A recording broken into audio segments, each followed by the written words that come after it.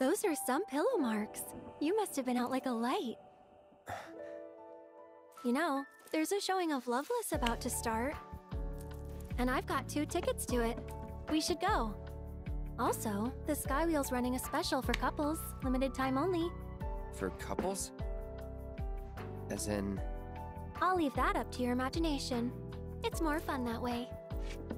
What about the others? Forget about them. For now, anyway. Oh. Come on.